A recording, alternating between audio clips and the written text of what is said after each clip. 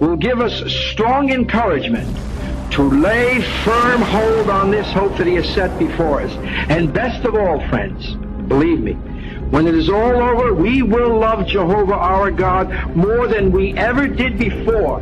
Yes, we will leave this hall today with a far greater appreciation for the loving way Jehovah is using his Son to save us.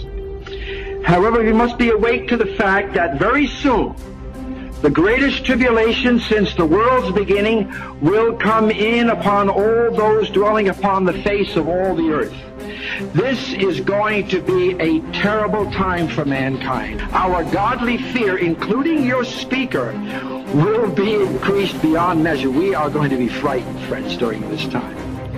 However, when Armageddon is over, we are going to face a rather gruesome, not a rather, a very gruesome situation. Let's turn to Jeremiah 25 and see what he tells us about it through this prophet. Jeremiah 25, 33. And those slain by Jehovah will certainly come to be in that day from one end of the earth clear to the other end of the earth.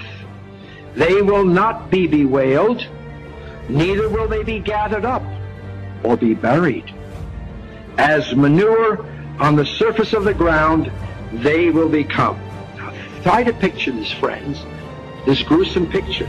Dead bodies and body parts of the wicked will lie strewn on the surface of the ground in streets alleyways, fields, and buildings. Now notice that God in this verse tells us here that no one will mourn or bury these dead ones. Now what does this tell us?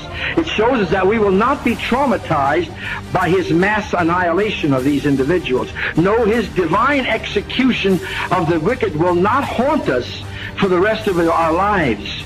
Rather, we will react to it today as we do when a vicious serial murderer is executed. How do you feel about him when he gets it?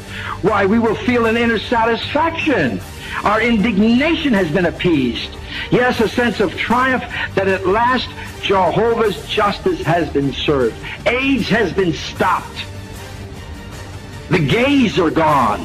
The homosexuals, the lesbians, the murderers, the drug lords, all gone. Now, you're going to feel sorry for these people? No. And those that don't mind them living around, you're going to feel sorry for individuals? No. Now, how will Jehovah dispose of all these bodies of those slain by him? Ezekiel 39 and Revelation 19, you can look this up when you get home. We haven't got the time. Tells us that he will beckon his wild beasts and birds to come and devour their fleshy parts. However, the vast number of cadavers will be much more than they can consume. Therefore, Jehovah will doubtless use some highly scientific means at his disposal, perhaps antimatter, to disintegrate their putrefying organisms. Now, especially in cities where we live, there's going to be a high concentration of dead ones. We're going to have to need them because those animals in the Bronx Zoo, they got out. They're still going to eat all the bodies in the Bronx. No. No, but Jehovah demonstrates his practical wisdom by doing this. He prevents disease from spreading to us from their putrefying flesh of all these dead ones. He rids their earth of their foul smell, and believe me, friends, we need to get that cleared up. And he will keep our air and water free from pollution. So he knows what he's doing. He's running the show. He'll take care of it. Thus, wherever we are, our God will thoroughly, according to Ezekiel 39, cleanse the land. And remember, many of us are going to lose our homes and everything in them. As mobs of maddened men attack and one another, they will devastate city blocks and the countryside. You see, this will provide the providing of shelter will be needed then to prepare to be care for these individuals. And this is again the reason we want to stress you might want to take this as pre-Armageddon instructions. We will, why we should, we will not be allowed to go into buildings to take what we want, nor to move into such. Some may be on the verge of collapse. That spiritual paradise will be there, helping us to attain to perfection and gain the right to eternal life in Jehovah's earthly paradise. How thankful we should be that Jehovah had the foresight way back in 1919 to set up that spiritual paradise. Jehovah also may unite us geographically. Now, how will this happen? Geographically, I never heard this before. This is a new one on me.